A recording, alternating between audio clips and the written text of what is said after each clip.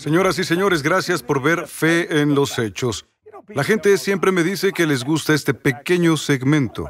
Dura muy poco, pero es una bendición.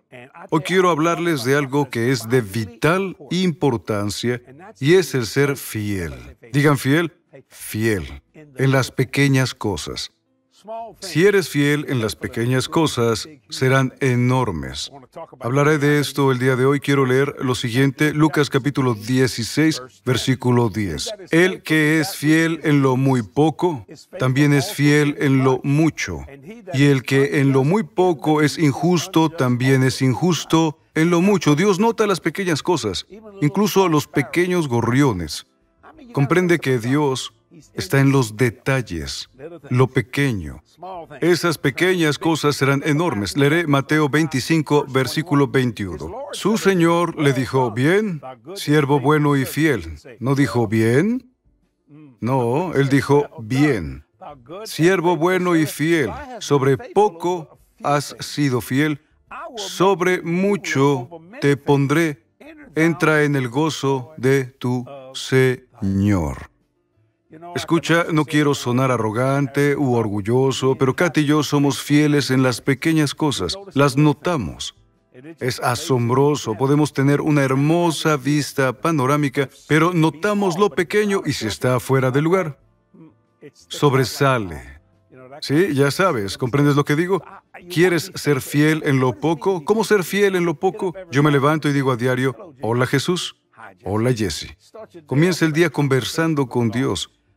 Diré algo, pero no lo malinterpreten. Muchos comienzan el día orando y es bueno, pero el fin de la oración es pedir cosas a Dios. Señor, ayúdame. Y creo que es bueno, pero amo despertar y comenzar mi día con una conversación y no con una oración. La conversación con el Señor me divierte. Luego digo, gracias Señor por crear este día para mí. Me regocijaré y me alegraré en él. Sí, para mí es primero, pero ese soy yo, tú eres tú. Lo hago porque amo hablar con Él y Él conmigo. Al terminar siempre oro.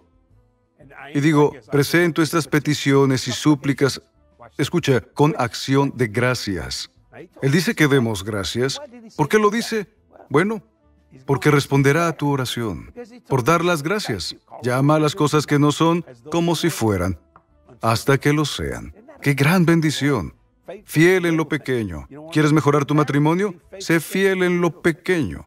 No en las cosas grandes como aniversarios, cumpleaños, Navidad, Pascua o acción de gracias. Es lindo, no lo niego, pero solo en lo pequeño. Dile, ¿sabes? Sin ti, mi vida no sería nada. Algo pequeño. Ella solo te amará. Enfócate en lo pequeño. Da una palmada en la espalda. Piénsalo.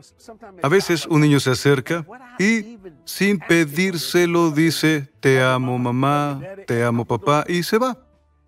Esas pequeñas cosas son las más asombrosas, porque serán cosas enormes. Leeré de nuevo este versículo, Lucas 16, 10.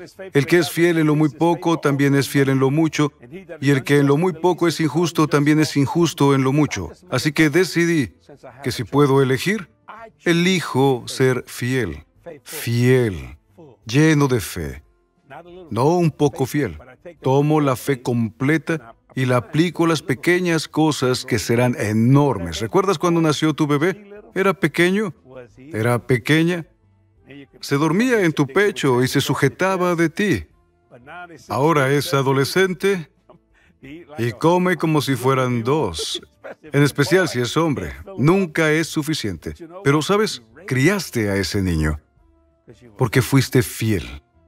Y adivina qué, se convirtió en un hombre o en una mujer. ¡Qué bendición! A eso me refiero. Si estás en la palabra de Dios, mantente firme en lo pequeño, porque se convertirá en algo enorme. Y eso enorme crecerá aún más. Antes de que te des cuenta dirán, ese chico es fiel. Esa chica es fiel. O tus hijos son fieles. ¡Qué bendición! Piensa en esto hoy. Ten fe en este hecho y verás que se hace realidad. Hoy, no mañana o después, porque la fe está en el ahora, hoy. ¿Comprendes?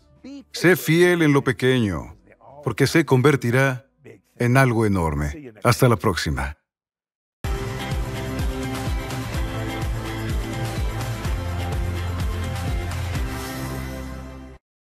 Este programa está protegido por los derechos de autor del Ministerio de Jesse Duplantis para el uso privado de nuestra audiencia. Cualquier otro uso de este programa, imágenes o cuentas sin el consentimiento del Ministerio de Jesse Duplantis está estrictamente prohibido.